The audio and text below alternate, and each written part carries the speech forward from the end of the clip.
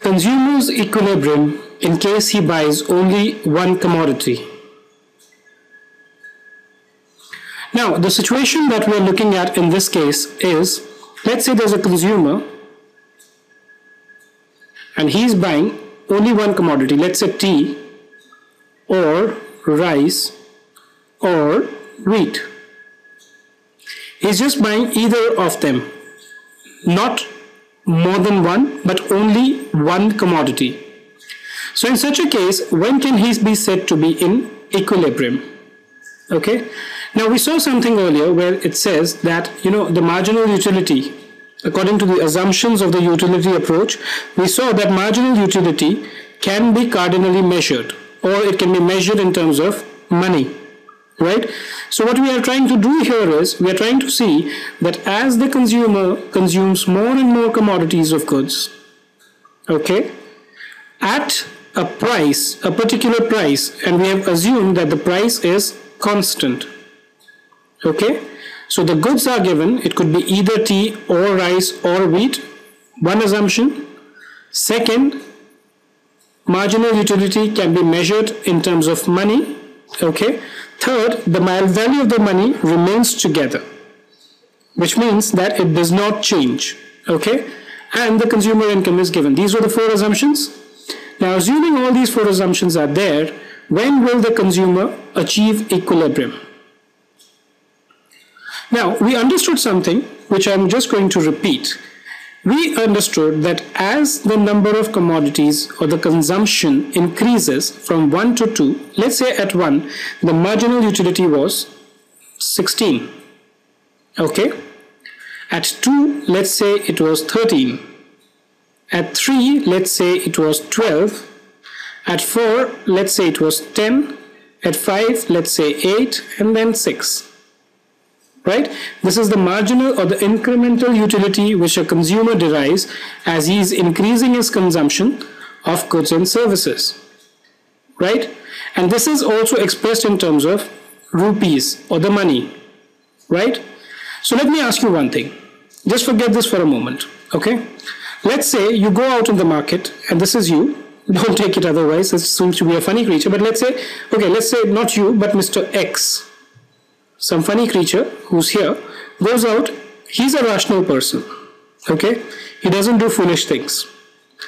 Now he went to the market to buy rice okay? The seller sold him the rice okay? Normally the rice mr x is aware is available at 50 rupees a kg okay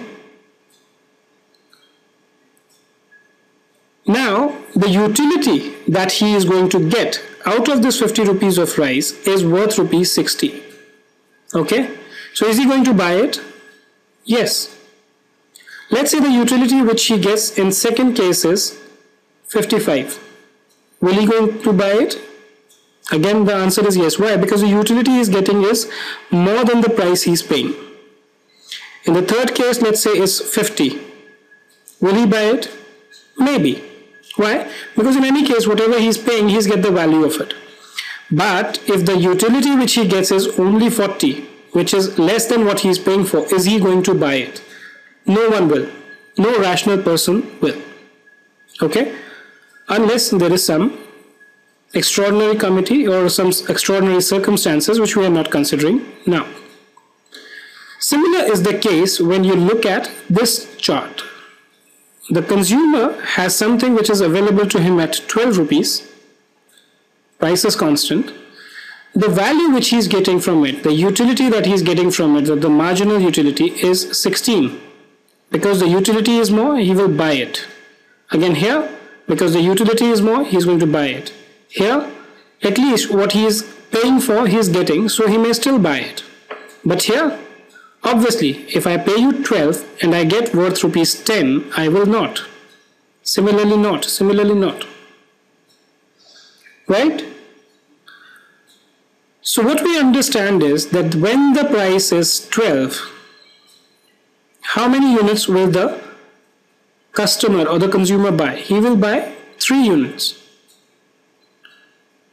Why? Because for the fourth unit, what will happen is he will be paying more but getting less. So he'll be, he will be happy only buying up to this point.